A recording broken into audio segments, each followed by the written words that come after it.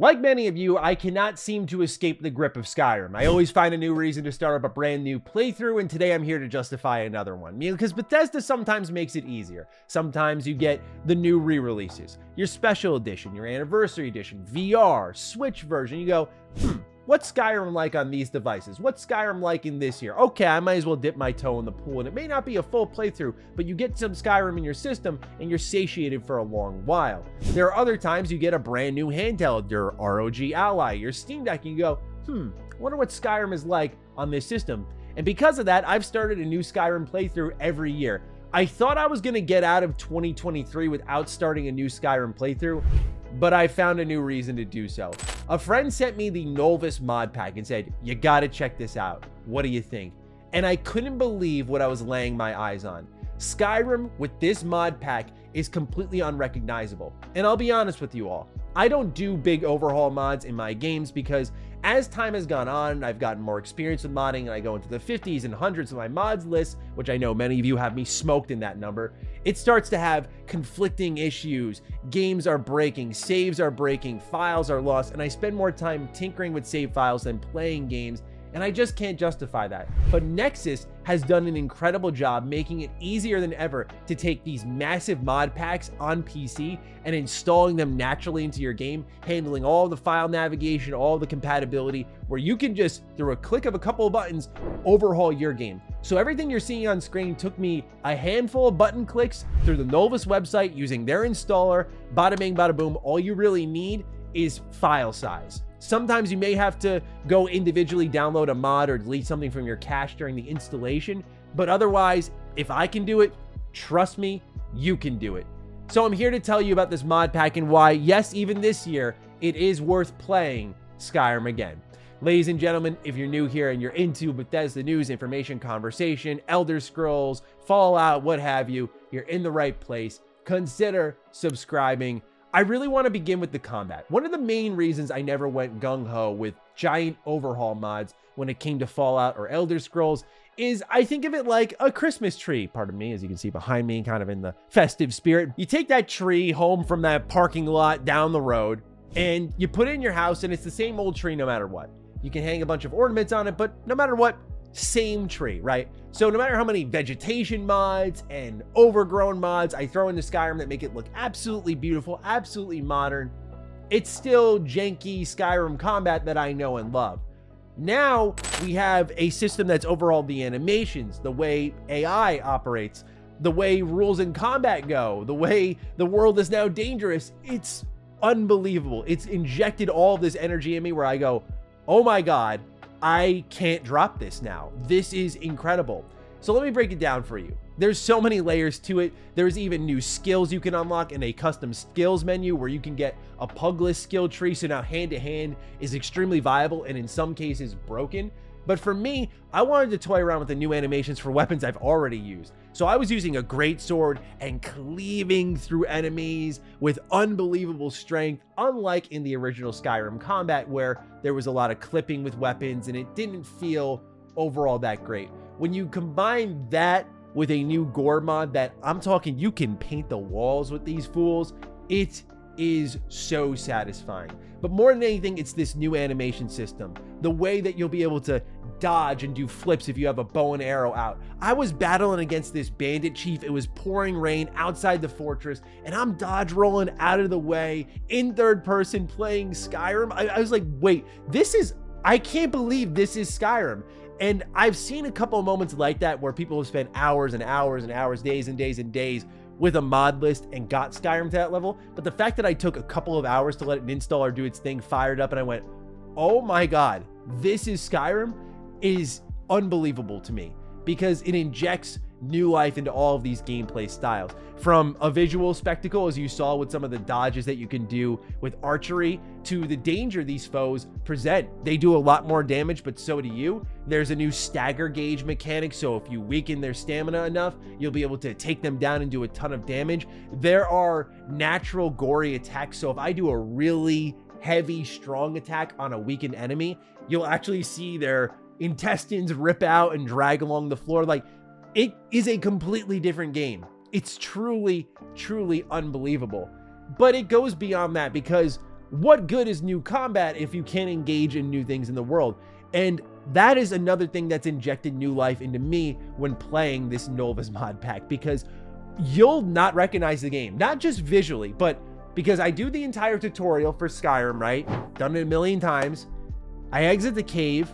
I'm like, okay, I know where I am. I know, you know, we got Riverwood down here to the right.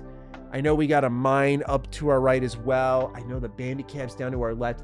I get beyond that initial set of locations, and all of a sudden I'm starting to get met with new NPCs, new quests, new caves, new everything, where even new bandit camps are peppered about, and there's new interactions with them all, and they're dangerous. I've ran into bandit camps and they're level 26 and I'm level 5 and I'm like, oh snap, I got to get out of here because you can't just overpower your way through things. But that set of new wrinkles with the brand new combat makes this world feel so unfamiliar. And there's new ways to traverse it, which is perhaps the most mind blowing part. So, part of this mod pack is a paraglider. And as you'll see here, you can dive off the top and you can glide over the map of Skyrim. Again, absolutely aghast that this is Skyrim. New ways to traverse, new ways to play. The game looks modern. I, I was like, this is this is literally what we've dreamt of. I mean, it's that mixture of Elder Scrolls and Breath of the Wild and the dream of what ES6 could be all in one. But this paraglider is so fun because now you don't have to janky drop your way down mountaintops you can just fly off to your next destination. It changes how you tackle the world. And why that is so wholeheartedly intriguing is because a lot of what Skyrim does right is its moment to moment exploration. Seeing something far in the distance and being able to glide your way there is what it's all about. And sometimes getting the drop on an enemy flying into their camp and taking them out, it's an incredible feeling. Now, visually, this game, as you've already seen, looks really good. Pretty close to modern thanks to the ENB mods that are installed here that change completely from the vegetation to the textures to every city in the game looking completely spotless. But you've also probably noticed, as it's pretty difficult to edit around, that even with my PC, which has a 3080 i9, you know, it's an insane mega PC given how much work I do on it. And yeah, my performance was bogging down quite a bit. When you're inside an interior space like a cave, oh, silky smooth. I would warn those of you who are going to take the dive into installing this mod pack about which ENB you install and how you tweak your graphics just because even for a powerful PC that I went, okay, well, for the sake of experimentation and learning, let me just try the brute force method. It works and it works fine, but there were moments I was like jogging through Riverwood and it was really bogging down. Like it was really chugging and it's hard to showcase how great this mod is if you're dropping down to like 30, 20 FPS in certain instances as the game picks back up. It's because so much is happening in this world. And it's worth it, I promise you, but it is something you should be on the watch for. But otherwise, characters have been overhauled. I got close to Whiterun and I bumped into Aela the Huntress and I went, wait, I I don't recognize her at all. And it adds to that feeling, that mystique of rediscovering Skyrim all over again.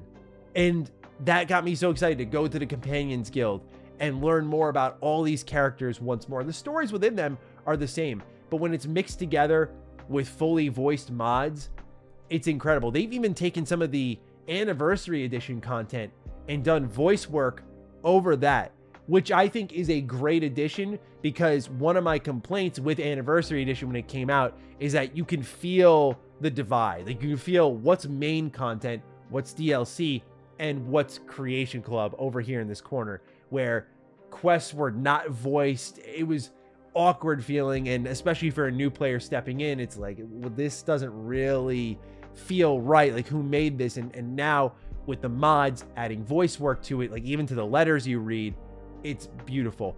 There are also random towns you can find that you can invest in and buy.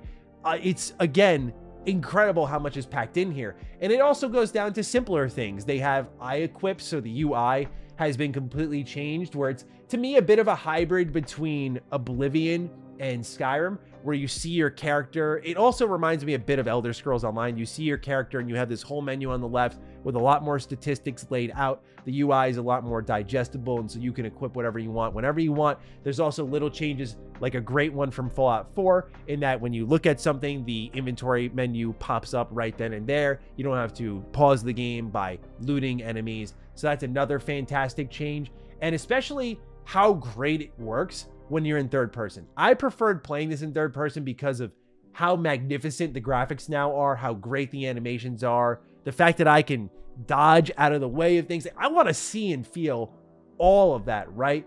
So yeah, like when you're wandering in third person and looking at a dead body or looking at a crate or something like that, it's like the cursor magnetizes toward the nearest lootable object and kind of just works for you where it's weirdly way better than any sort of natural loot system Bethesda has personally done. And so, like I said, I found myself playing in third person because I know these games are built for third person mostly. They consider third person, but I feel they're mostly built for first person. At least they play the best that way, even though I like to wander in third person. But now I'm wandering and playing Skyrim in third person. And it's just because of the tremendous work of all of these mods coming together and adding a whole new experience here. Not only that, but there's brand new weapons that you can discover from these new boss fights, these new quests that have been added. They have their own unique special effects. I had this Ardent Blade, which was a giant two handed sword that really was cleaving through some of the early game enemies. But, you know, I just can't get over one thing with this game. And I apologize if I sound like a broken record. It really is how unrecognizable the game is. You'll get to a place like Whiterun and you'll see like, okay, this is Whiterun. It's nice and cozy. I love how Whiterun looks. But I got to Markarth at one point, and the approach to Markarth, I was like, dude, I play this game a lot. I don't recognize where I'm at at all. You get inside Markarth and you know where you're at. But leading into there, I don't know if it's because it was pouring rain, but leading into there, I had no clue where I was at. There is that sense of wandering blindly.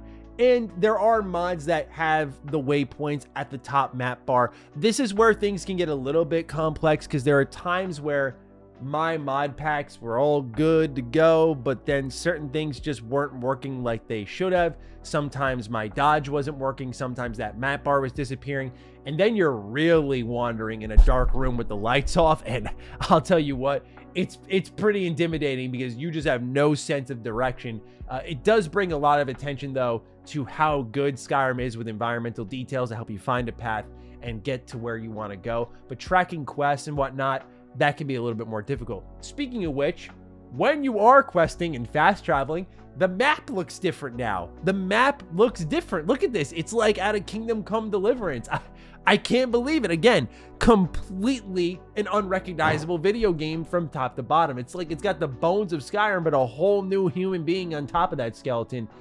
It's unbelievable. So hopefully I've conveyed to you why this Nolvus mod pack is absolutely worth your time. Simply put, it's because finally I feel the gameplay has changed enough where it's worth your time and attention to figure installing a giant mod pack out. But not only that, if you have the memory space and you have a Nexus account that's premium because you need those download speeds, this is the easiest overhaul you can really install. It's impressive to me how far we've come where it used to be download this file here drag it to the data folder and just keep doing that 30 40 50 60 times and then suddenly your game broke and you have no idea why now it's much easier to figure out i mean even going through the installer they'll have green checks on what's working x's where it's not working and and it's really easy to figure out again i got to give you my words of encouragement simply because i'm not good at this stuff if i can do it you can too so ladies and gentlemen, are you playing Skyrim? Have you messed around with this mod? Has this been as big of a game changer for you as it has been for me? Let me know down below. I'm really excited to get your thoughts. And with that, take excellent care of yourselves, and I will see you next time around. Be sure to follow me on Twitter, follow me on Instagram. Those links are in the description down below. And a big thank you to all the patrons, all the members who continue to support the heck out of the content here. Stay sexy, stay active. I love you all. Peace.